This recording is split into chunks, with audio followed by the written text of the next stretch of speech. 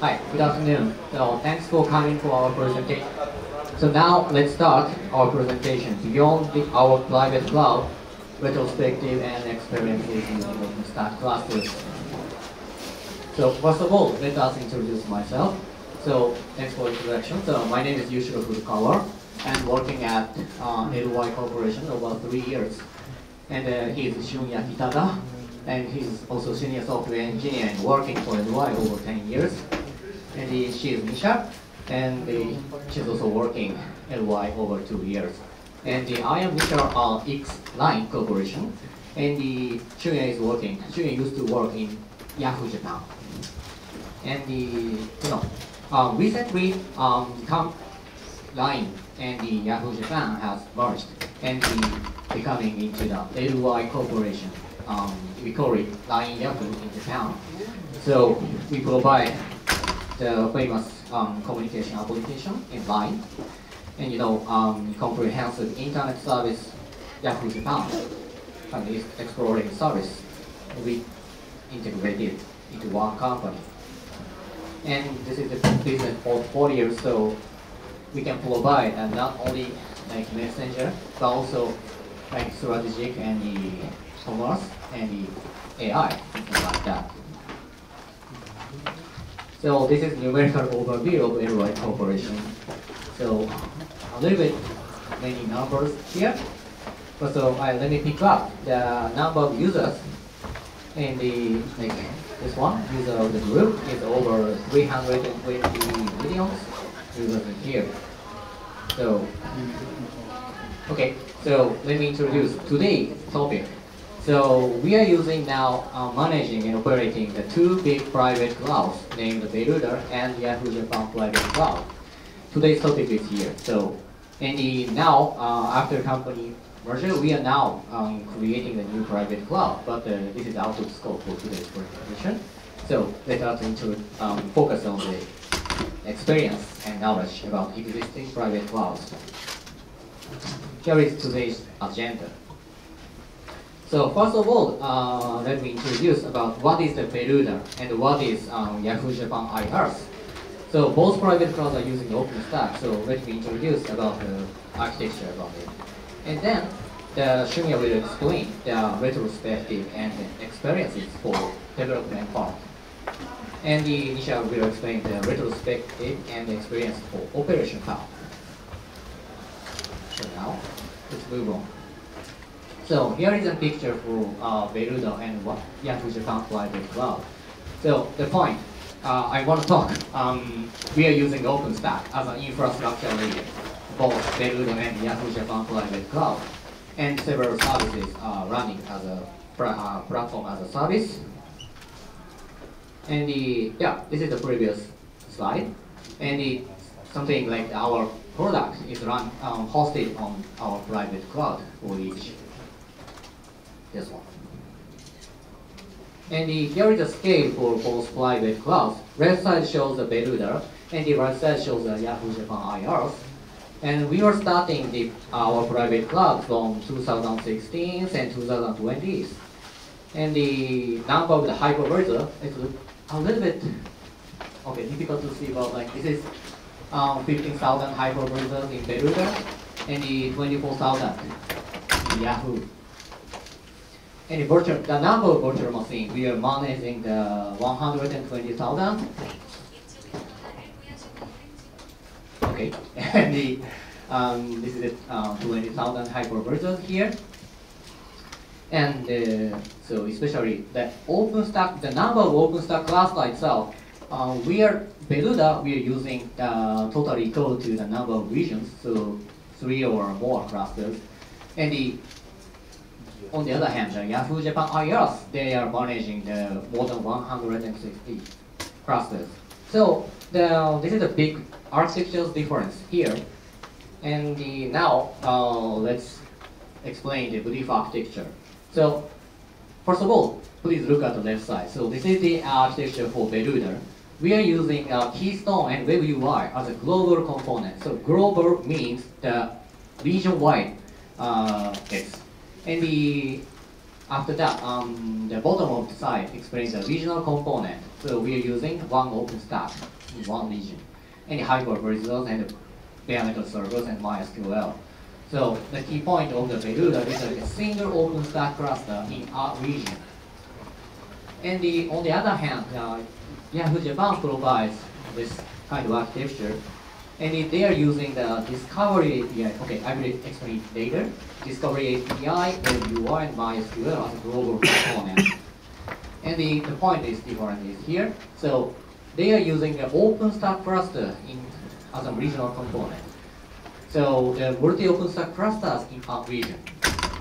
And the, so the, each cluster should be provided for any project or product, something. And the, from the operator point of view, the uh, sorry, infrastructure operator point of view, they'd like to know the all instance information or all kind of like flavor or other uh, network information to get one API. So the discovery API is a kind of a wrapper API, and then once we call, for example, so if the operator wants to know the num whole number of instances for all, all OpenStack clusters, they can call the discovery API and they get all of instances uh, of the whole clusters. So then there is a very like, big differences uh, architecture between the Verda and Yahoo Japan IaaS, but uh, from the operation or like the development part, something like the knowledge and sharing is uh, knowledge and experience is uh, kind of similar. So that Shunya will explain about this point.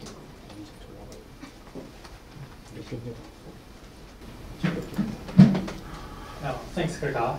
So, in this part, I will talk about OpenStack upgrade strategy and deployment strategy.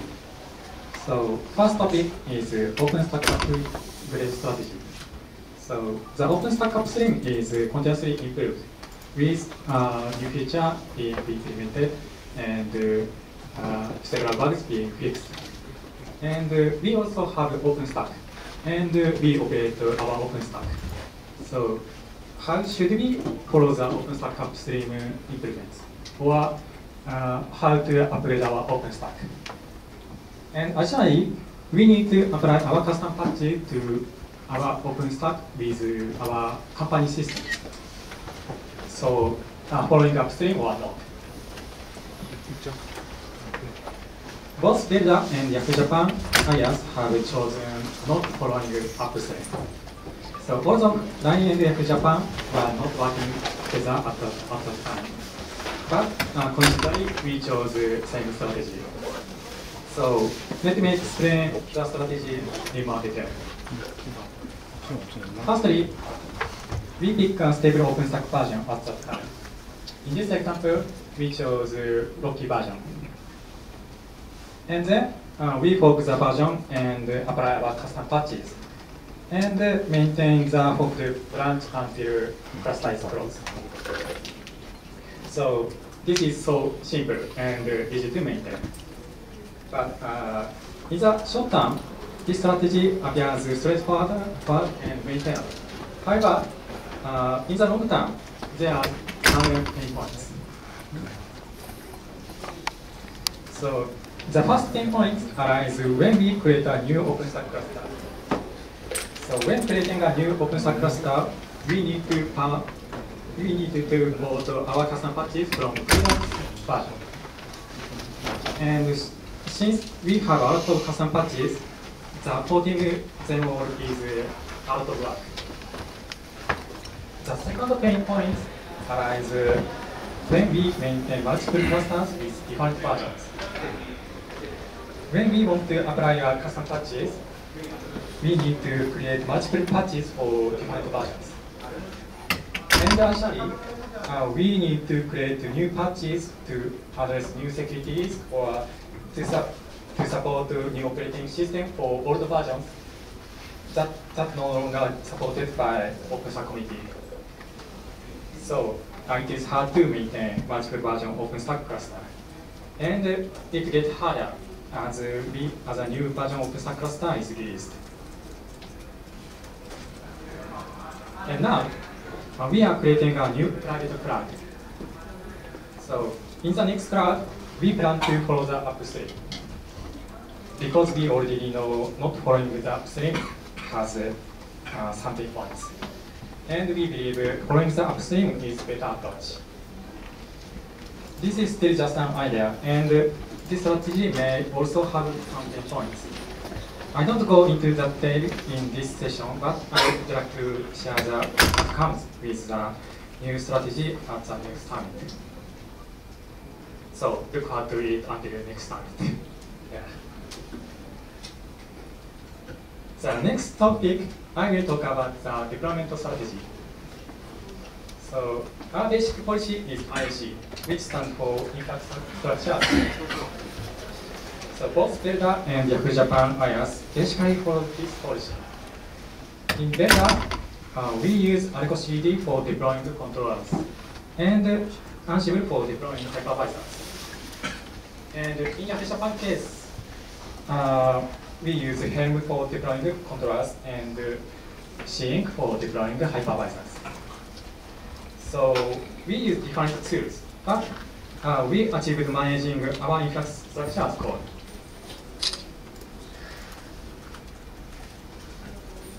I think there are some changes in hypervisor deployment. So I will focus about, the hypervisor deployment. So uh, we have a large number of hypervisors, and hypervisors have important data frame. So it means our our company services are running on hypervisors. And so we need to uh, deploy safety and uh, quickly to hypervisors. So once the code is merged on GitHub, it is automatically deployed in production according to your schedule. The scheduling is important thing. If uh, deployment code that will cause uh, hypervisor to go down were installed and deployed to all hypervisors, it could cause a critical incident for our company's services. The mitigate this, uh, to mitigate this, this risk, we need to, we need to perform a list to reduce the impact of potential, uh, any potential failures. And we also schedule deployments considering failure domains such as region or availability zone. And the deployment is scheduled to be completed within a week. So in Yahoo Japan case, uh, the code is automatically deployed to all hypervisors over five days each week. This strategy is uh, working well in our private cloud. Our strategy is working well, but some small issues exist.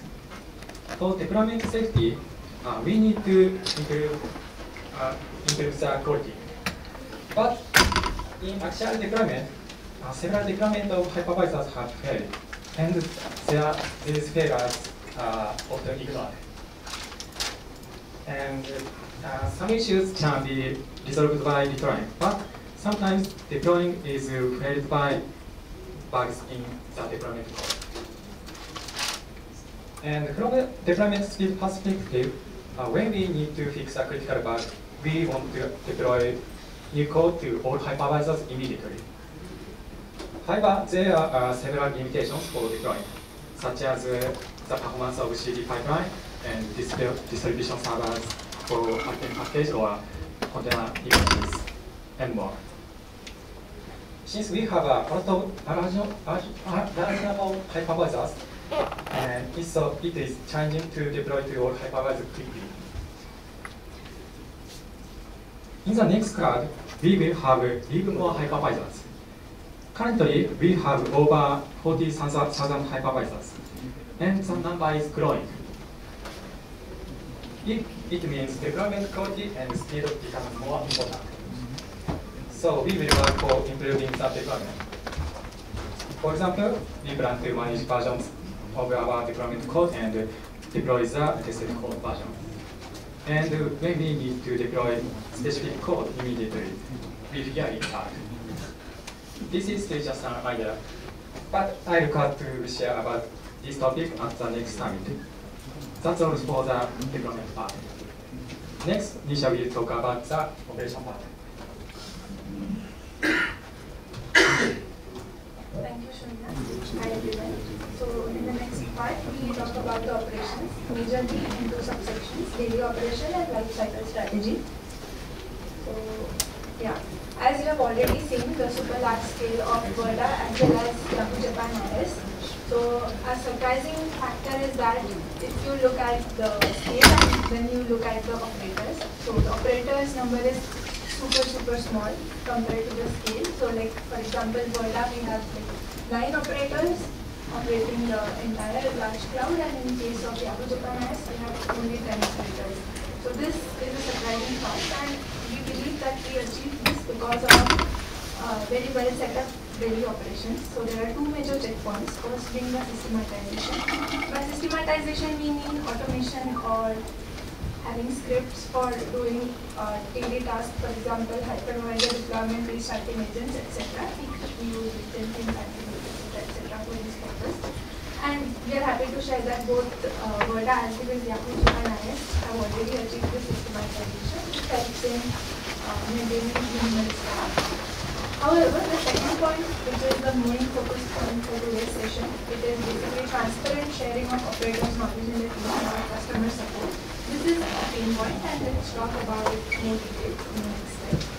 Let me give you an example of a sample customer support request. So let's say the end user says that his VM has failed error status and he's like uh, look into it. Send the operator then looks into it, investigates, maybe finds a solution and fixes the problem. And it, uh, and the end user is like, okay, thank you so much. So from end user perspective, this is all good. From operator's perspective also, this is nice. However, when there is another operator who looks at this request, so this part, the investigation and the operations that the operator did is hidden. So this is the main point. Uh, like the internal investigation part and everything is not shared to the team. We believe that this is something we can uh, focus and we can also achieve this in our next cloud. So point being that we can prepare some easily accessible team-wide cheat sheets, ultimately increasing the efficiency of the team and also the speed for which we handle the customer support request. So yeah, this is what we plan to achieve in our next cloud and hopefully we'll share it in the next summit along with our So the second part is lifecycle strategy, deep lane migration. So uh, around three years ago, we faced an issue of end of life of hardware or OS, and we had to migrate VMs because of the room and rack replacement. And in, in this uh, scenario, we only supported old micro for VM, which is why like some VMs could not be migrated to the hypervisor. Uh, the reason being lack of VM portability because of IP network or volume. It resulted in basically lots of manual operations and we also had to ask end users to recreate VMs, which is something we have learned from our earlier experience and we want to avoid this in our next cloud. So let me give you a quick overview of the real data. Uh, we had around 18, like 1800 hypervisors that need to be uh, that were migrated and the VMs that were migrated were more than 9000 and uh, we achieved this migration in a span of 6 months which include operators operation as well as end users requiring to recreate VMs. So what we learned is and what we want to avoid in our next cloud is we want to ensure VM portability so that if similar situation occurs, we do not need to ask the end users and we also reduce the cost for both end users as well as operators. So we want to uh, achieve a migration within the. This is for this is what we learned. So we are coming to end of our today's session and let me quickly uh, give an overview summary for the concluding part. So uh, initially we introduced two private clouds, Verda and Yahoo Japan IaaS and since we plan to make a new cloud, we are very happy to share our experiences and try to learn from it. And that is why we did a retrospective for the development part which included OpenStack upgrade strategy as well as deployment strategy and then next I talked about the operation part, basically the daily operations and lifecycle strategy. Uh, let me quickly share about our future work. So future work as in what we want to achieve in our next upcoming cloud. So we want to follow the upstream and we have already gone through the rough ideas as Shunya explained earlier.